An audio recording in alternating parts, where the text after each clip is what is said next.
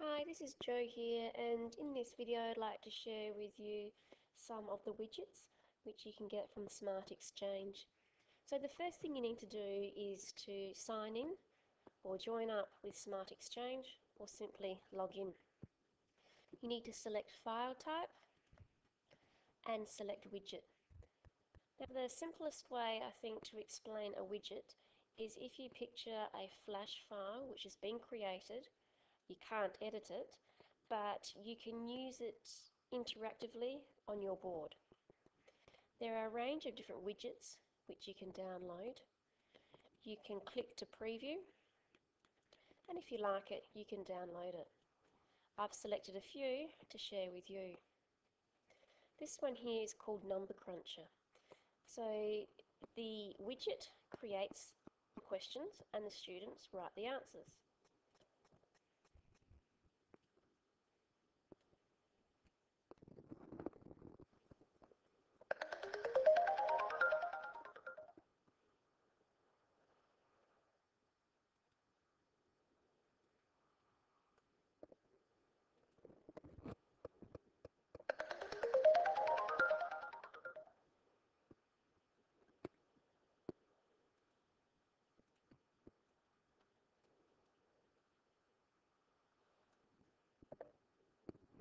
So you can see that the widget will recognize the writing with the pen tool and it recognizes the correct and incorrect answer.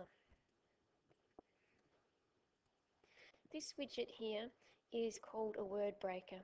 So what you do is you type in your word. Oops, put that aside. Weather and you break the word then what you can do you notice now that all the letters are broken individually. You can highlight the words change the font if you choose and the size. And then students can use the letters to drag and interact with it to create other words. You could uh, type in your spelling list words break up the words and ask students to drag to create the spelling words or students could type in a spelling word and then use that word to create other words. For example, the, we, um, they might make another word, uh, and record them. It's a great little widget to use. This widget here is a puzzle maker. You simply go to your gallery, find the image that you'd like and drag it across. This is the original image. I can shuffle it.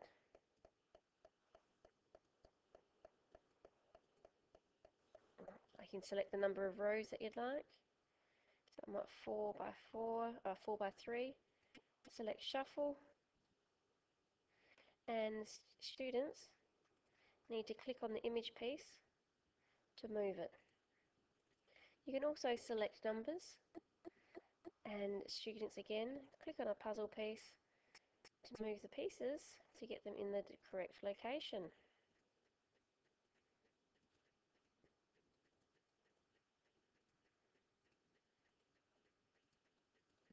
And so forth. This widget here is using weighing scales. So you can see that students can drag up a weight, they can use the pen tool, and they can record the mass they can also match on the other side. So we might put out one. And if they actually balance the scales, you notice they get it correct. There is information for teachers on the widget. And you can also select whether you want handwritten input, display totals. What you can also do is you can adjust the measurement that you would like. This widget is called a distance converter. So you, you basically converts different measurements for you. So here I'm converting from millimeters to kilometers. I can change that from centimeters to kilometers. And you use your pen tool, you might write over the top. So I'm going to write 40. And it will convert it automatically for me. and you can see there are a range of different measurements again.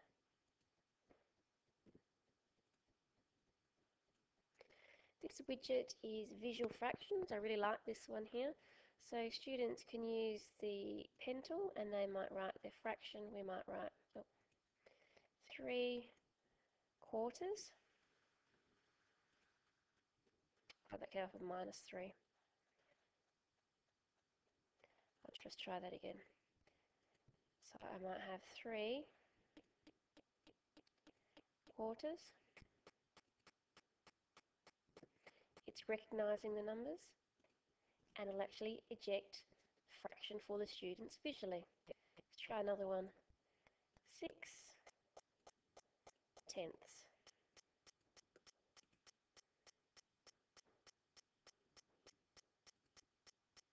And it ejects the fractions for the students visually. A great tool, a great widget which is free to download from your Smart Exchange. There's also the piano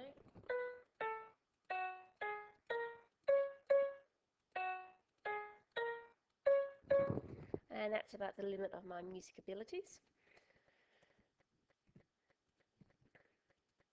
This other this other one I had here was the interactive periodic table.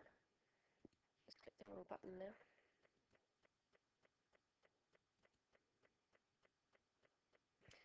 I've got lots of files open. If I just, I might undo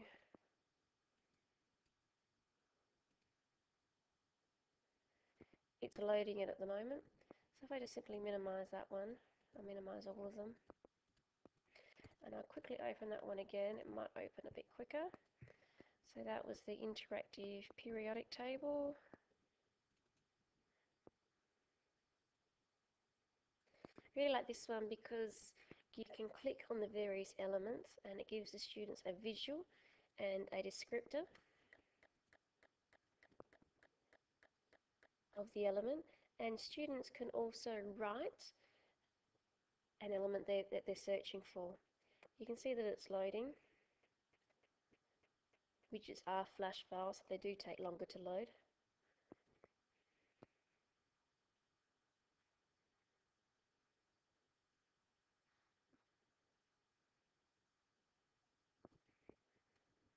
Whilst that's loading, I'll just close down these others. Here we go.